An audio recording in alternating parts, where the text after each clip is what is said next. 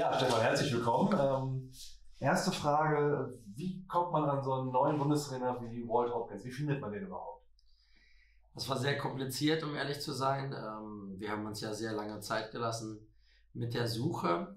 Und ähm, ja, dann kommen äh, verschiedene Dinge zur richtigen Zeit zusammen.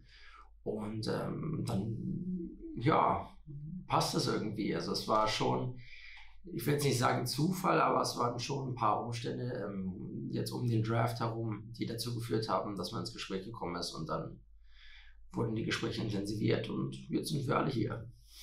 Wie sieht jetzt in diesem neuen Trainerteam die Zusammenarbeit aus? Also erstens äh, allgemein, zweitens, was ist so dein Part in diesem Team? Mein Part, ähm, ich glaube, mein Part in diesem Team ist, ähm, alles zusammenzuhalten und ähm, das Große und Ganze im Blick zu behalten, so allgemein.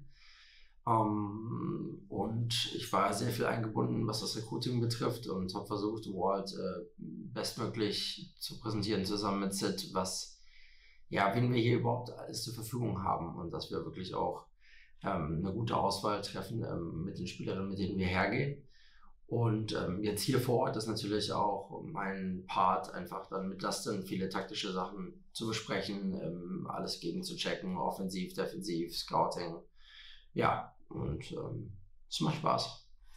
Wie sieht so die, die Trainerphilosophie von Walt Hopkins aus, wenn du mal versuchst, so sag mal, die drei wesentlichen Punkte zu nennen, die dir sofort einfallen? Was wäre das? Ähm, er macht immer einen guten Unterschied zwischen ähm, Dingen, die wir beeinflussen können und Dingen, die wir nicht beeinflussen können. Und ich finde es äh, sehr wichtig, dass wir auch gerade die Dinge, die wir beeinflussen können, dass wir uns da auch fokussieren und ähm, da immer bei 100 Prozent sind. Und ähm, mir gefällt die Intensität im Training sehr gut, äh, die Ansprache sehr gut. Und ähm, wenn ich dann weitermachen würde, dann geht es auch darum, dass wir auch ein bisschen schauen, was sind unsere Stärken. Also was, was können wir tun, offensiv und defensiv, um Kontrolle über das Spiel zu bekommen, um unser volles Potenzial auszuschöpfen. Und ich finde, dass er, ähm, dass er alle einbindet. Das ist auch etwas, ähm, was ihn ausmacht ähm, und auch da wirklich jeden erreicht.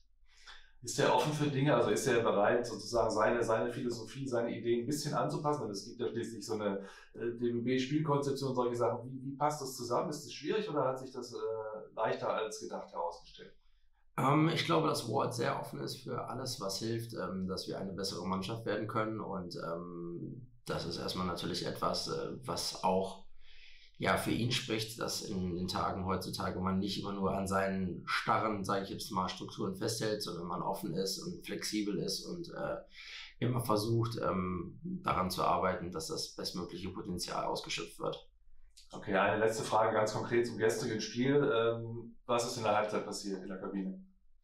Ja, ich glaube, dass wir sehr viele Dinge angesprochen haben auf der inhaltlichen und auch auf der mentalen Ebene alle. Und ähm, ja, ich bin einfach nur froh, dass äh, unsere Leute auch äh, daran geglaubt haben, in dem Sinne, dass wir wirklich rausgekommen sind und ähm, weitergemacht haben, weil wir haben einfach keine gute erste Halbzeit gespielt. Ähm, ich glaube, viele Kleinigkeiten am Anfang mit den Fouls und wir sind trotzdem bei der Sache geblieben, wie man so schön sagt, und haben uns nicht davon abbringen lassen.